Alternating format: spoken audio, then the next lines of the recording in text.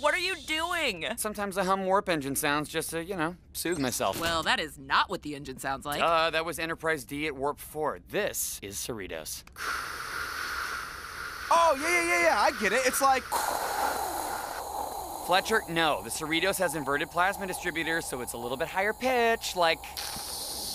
Wrong. The shh doesn't come from the distributors. It's the vibrations in the dilithium disbursement manifold. It's like this. No, guys, guys, it's like this. Dude, I'm telling you, it's. And Voyager was all. Are we doing the engine sounds? Security to Deck 11. Something is very wrong down here. On the ground! Now! Oh, we're just having the. I said freeze! Uh, oh, it is a little higher.